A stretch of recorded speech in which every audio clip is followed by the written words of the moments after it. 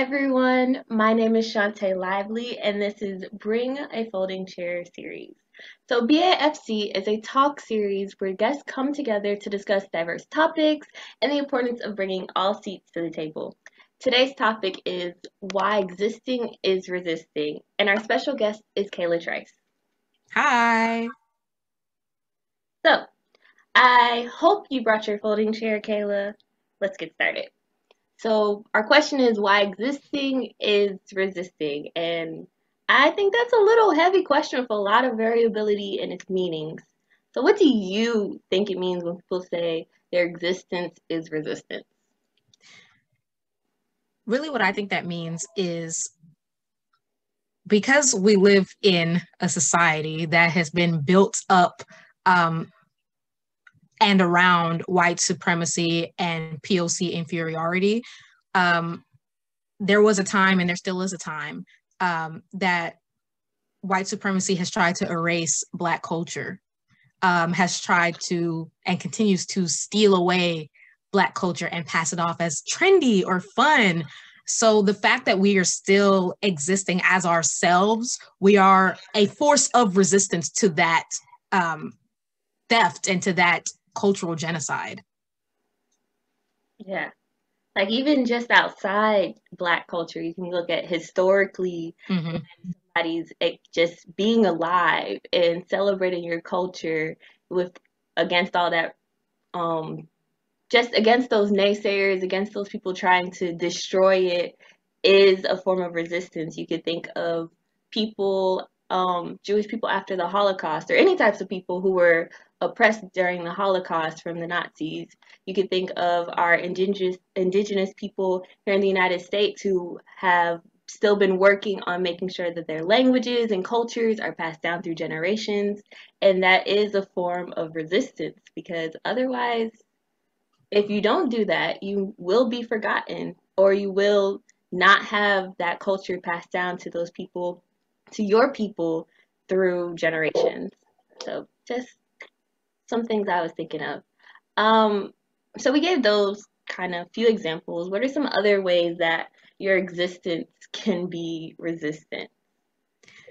Really, it's just showing up in a room. Um, let's see, for example, I attend Tuskegee University. Uh, go Golden Tigers. To you, you know um, and I'm studying sociology, and I'm part of this program. It's called the Mellon Mays Undergraduate Fellowship, and part of this, well, the the goal of this program is to get uh, minority youth into academia because academia is such a uh, place that is just surrounded by whiteness.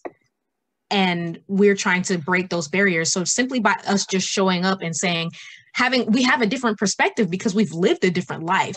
So just showing up in those rooms and being that uh, person to bring black issues to the table or to bring um, jewish issues to the table or native issues to the table because white people aren't thinking about that there was a um, a story mm-hmm. that we had to read um, before going into this program of this like true a true event when um, they were you know creating voice technology or whatever. Mm-hmm.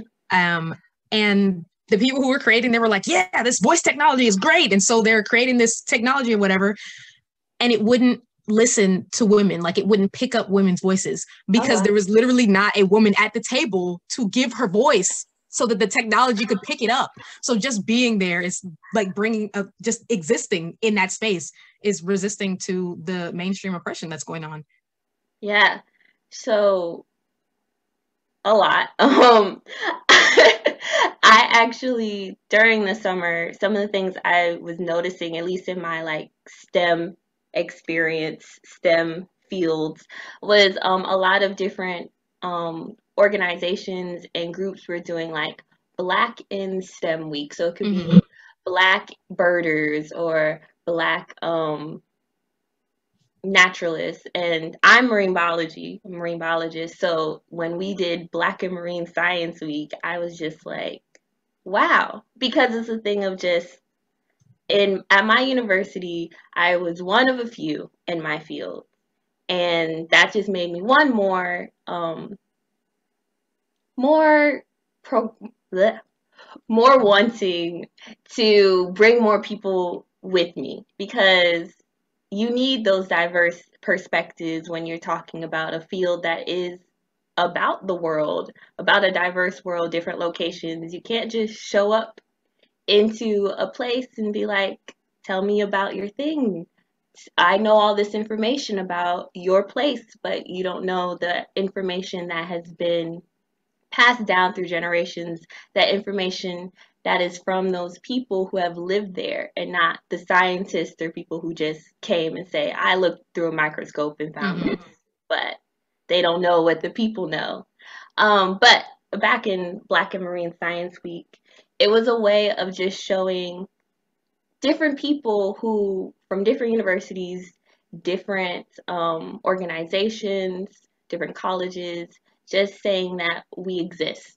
We are here. You might not see many of us at your specific place, but around the world, around the country, we exist. And it was really amazing for me because I got to see and meet tons of people who are like me. And though I was just a university undergraduate student, um, and so some of the things they were talking about didn't apply to me yet, it was good to know that I was not alone and whatever I heard. I do exist, and by existing, we are resisting hot. and so I really enjoy that because it's a thing of, you know, diversity, having representation, and that's important when you're talking about resistance. If you, the simple thing of being represented in a field can show and bring more people with you and it makes a lot of people mad. You could just think about our inauguration, which was on Wednesday, how we now have our first Black Southeast Asian woman of color as our vice president. And no matter how we feel about her and her background, that's something that is a resistance by being in that space It won't be the first one anymore. I'm so tired of hearing when people are like, you know, this is the 1st mm-hmm. I'm like, it's been how many years? US is what 200 something years old and we're still on the first. That's always what gets me. So just interesting when we Yeah. Also, hadn't you traveled to South Africa? Didn't you? Yes. Okay. And there's a lot about that's the the point of that trip basically was you know e- existence is resistance. And one of the the days i actually ended up like breaking down crying on that day because we went out um we were in this like hotel first of all. Mm-hmm. this hotel on this beach and it was so beautiful and you know the beach and the sand and we were like woo! And but we had to take classes so we were in the hotel taking classes. Um and this one day we were having we were going to have a field trip. So i went to cape town um flew into cape town and we were going to go like into the city of cape town this was like on the beach um on the cape cape town huh. so um the theme of that day was whose cape town is it mm. and you know you think you know about apartheid as much as you know as much as we learn in the united yes. states about apartheid but you think you know about it and then I went to South Africa and we learned about this theme of whose Cape Town is it? And we just learned about all these different places and uh, we walked around and we were like uh, being taught, you know, this place used to belong to um, black people and then apartheid happened and they got kicked off of this this land and we went to this um, place. I don't remember the name of it, but it was supposed to be a museum because this coffee house, they were like, we're gonna build a coffee house here. And they started digging up, they found bones. And they were like, wait wow. a minute. So they found the bones and instead of you know leaving the bones in the ground as a grave because I, they they found out that this was a, a burial site for mostly black people um, mm. black indian and colored people um, in south africa they were like let's dig up the bones put them in boxes and then make a museum but they they that's what they did. They dug up the bones and put them in boxes and put them in like behind this like shelf thing. Um, but that's like one room. The rest of the place is a coffee house. And that's when I started crying because I was like, you have desecrated these people's graves. You don't even know who you put in the boxes. You put them with other people because you want to sell tourists coffee. Yeah. and so by telling us, you know, a lot of us are from America, some of us were from South Africa, um, telling us that this existed. I mean, this exists. Um, and just portraying the the history that was along with that and uh, the history of apartheid to us and the people who went to apartheid. Apartheid ended in ni- 1994. Like, wow, I wasn't even born. But it wasn't that long ago. It wasn't not long ago. And so the people who lived through it, they're like, we're here as a example, as a testament to what happened to us. And we're fighting back against it. So that just that stuff, it, it, it was really powerful. Like I could not stand to see those people in those boxes because it made me think, I don't know who they are. And I don't know where I come from originally in Africa. These could be my relatives and nobody cares. They just put a coffee house on top of it. They just put a coffee house on top of them. So that really, it really brought me to tears. And then I saw two white people drinking coffee outside the coffee house. They had they had nothing to do with this, but I was like, this is just boiling my blood. but yeah, it was a it was an interesting time, especially that day. It was really, really powerful. Oh wow. Just do you think by being a form, just by existing in your space, by having that museum on not the coffee shop part, but actually the museum, having that in that location, do you think that is a form of like protest, a form of historical context for the people in the future, way more than when those people in 1994 have passed away and moved on? Um, do you think it's a form of protest by existing, by that space existing? I think it is because um, if I remember correctly, um, there was before the coffee house was built and museum was built, there was you know like protests around we shouldn't build anything on top of this. We should leave them. Um, as they are and like put a plaque up or something. Um, of course, that lost, and the compromise was to have this one room as the museum and the rest of the building as the coffee house. So I do think at at some level it was for the owners of the coffee house to save face um, don't know how much face they saved with that, but uh, I do think that even winning that that small victory of not even not completely desecrating the grave of those people um, that it is a form of resistance that it's just to say like you drink your you're drinking your coffee next to where these people were uh, pillaged and beaten and, and died. Um, and you need to be able to see that. So i do think it is a form of resistance. What I know we are both, you know, resisting by just existing, resisting by putting together this talk series and you coming on and talking about it. But what are some other ways people can, you know, little ways that we can all resist without like not everybody is a person to go out and protest. Not everybody is somebody who can go on social media like you and provide some facts, some well needed facts and information on things that affect you. What's some little things we can kind of do in our resisting and existing? The biggest thing is to inform yourself. Facts, check your sources, and inform yourself of these things. I, um, as you know, I'm, I'm a very competitive person and I often compete with myself. Um, no one wins, but um, the way I do this is I have my own kinds of forms of protest in my head. Um, if someone says, and they don't even have to know me, like someone on the TV could be like, oh, you know, um, girls shouldn't do X. So in my mind, I'm like, that sounds like a challenge. So I go and look up whatever X is and see if there's a way that I could have possibly done it in the past or could possibly do it in the future. Not that I, and it might not be a big thing. It might just be like, girls shouldn't take out the trash. I'll be like, okay, and I'll go out downstairs and take, the trash. trash. like, I did it, TV man. Um, but things like that, like just inform yourself, and that is a form of protest. If you live in a a household that believes in white supremacy, and you're like, mm, I don't know about that, and you want to look up some stuff that's protest. That is that's a that's a huge protest. When I was um when I was in South Africa, my roommate Lizanne, I love her.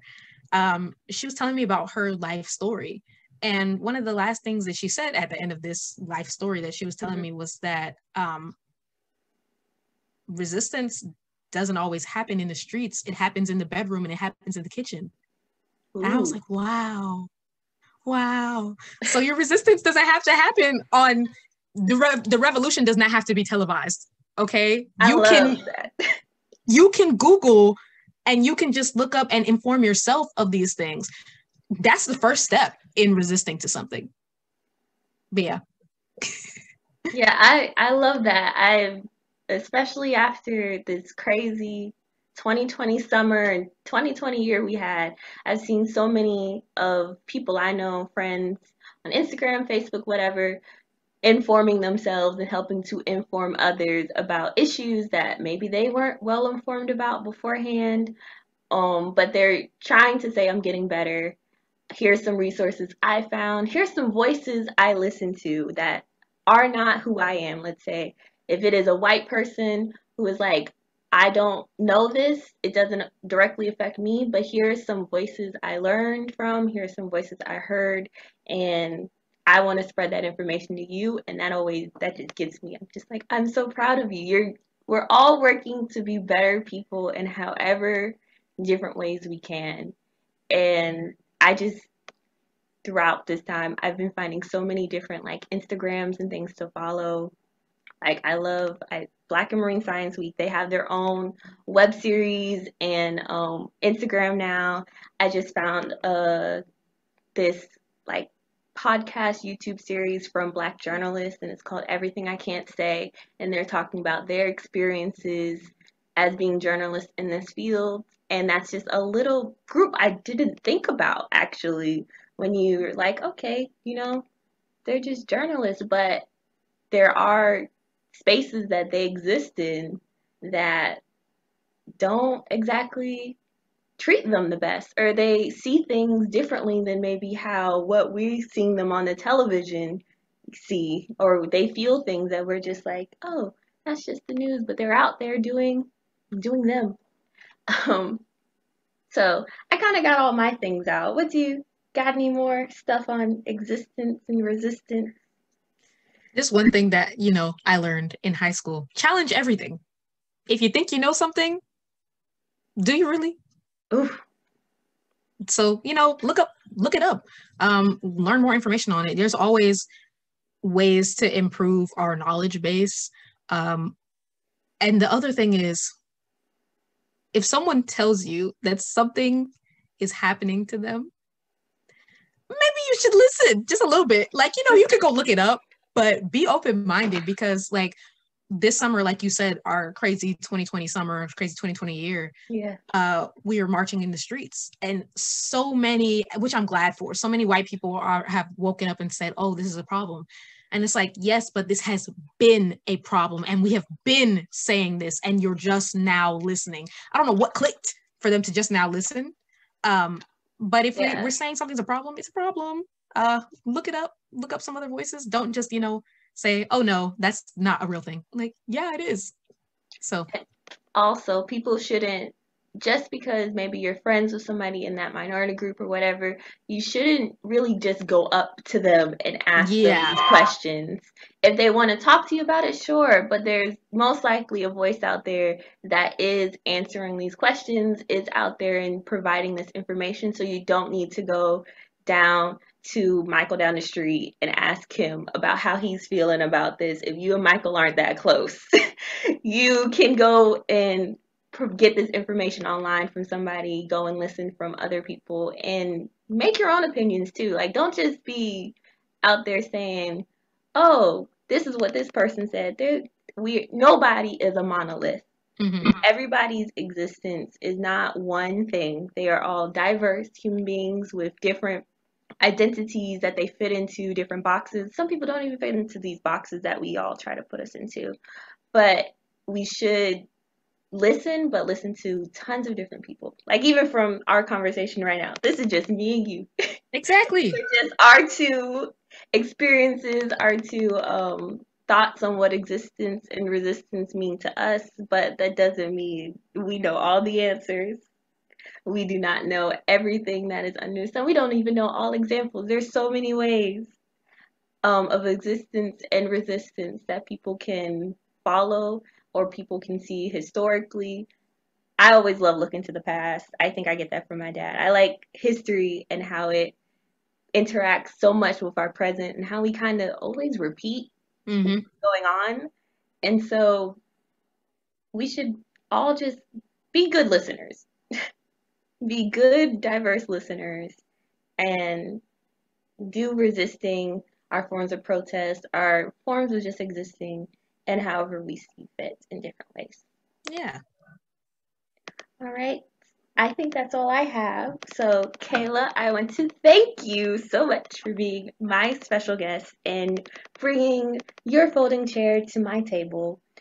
You were awesome. And I really do love that you gave this idea for us to do our first woo, first show of this series. It's good and I think we had some good conversation with it. Me too.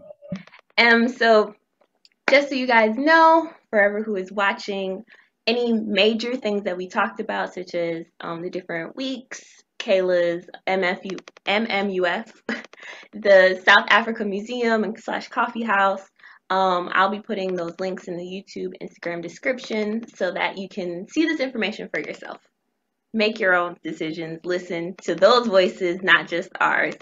Um, BAFC, bring a folding chair has a lot more content that we'll be doing possibly throughout the month of February as well as definitely in the future.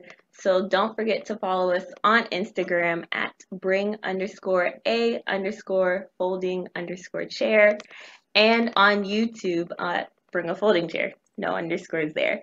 If you have any suggestions of topics and or guest speakers, go to our suggestion box, which is in the link in our bio. And thank you for watching.